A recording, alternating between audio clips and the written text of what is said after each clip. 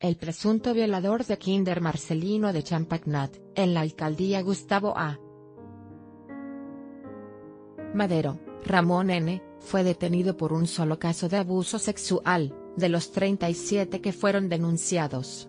El caso Ramón N. se reintegró a la carpeta de investigación por uno de los menores, así lo dio a conocer que Andrea Lizárraga, titular de la Fiscalía Especial para los Delitos de Violencia contra las Mujeres, y Trata de Personas de la Procuraduría General de la República, PGR, en una entrevista para Grupo Fórmula con Ciro Gómez Leiva. Tomarán declaración de 10 menores más. Asimismo destacó que hoy se tomará la declaración de 10 menores más, y se les realizará exámenes físicos y psicológicos.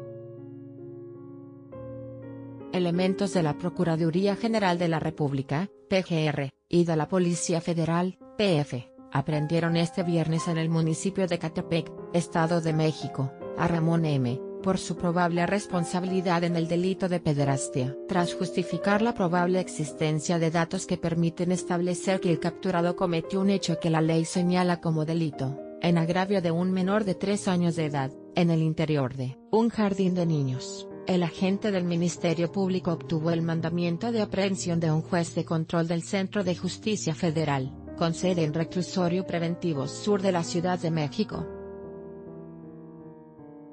Presunto violador permanecerá en Reclusorio Sur hasta que resuelva su situación jurídica. Por ello, elementos de la División de Investigación de la Policía Federal, encabezados por el fiscal de la Federación, y en coordinación con la Fiscalía General del Estado de México, cumplieron el mandato de captura la mañana de este viernes.